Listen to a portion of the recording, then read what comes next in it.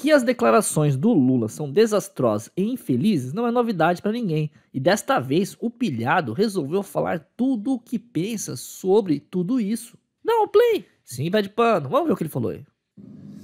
Tá explicado por que eu sempre digo que uma pessoa ignorante com o nível de ensino do Lula não poderia ser presidente do Brasil.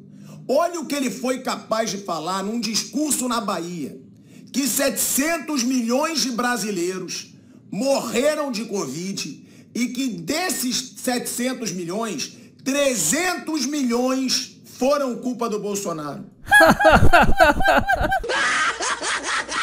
Nem existe tudo isso de brasileiro no Brasil. é verdade, pé de pano. O Lula mostrou todo o seu conhecimento e sabedoria com essa declaração.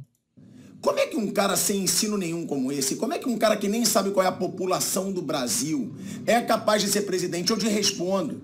É porque no Brasil tudo pode. É porque no Brasil não é só o Lula que é ignorante. A gente tem uma massa gigantesca de ignorantes, sem ensino nenhum, que não tem critério nenhum, nem nível de ensino nenhum, para escolher um presidente. Nem sabem no que votam. E o Lula nem sabe o que fala.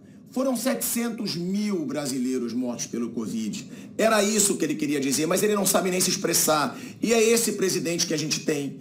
E é por isso que eu falo, para ser juiz você precisa estudar, para ser advogado precisa estudar, eu para ser formado em jornalismo precisei estudar, médico precisa estudar. Por que que um presidente da república, que é o cargo mais importante de um país, pode ser um ignorante, que não estudou nada, que não sabe de nada, não sabe nem o que fala?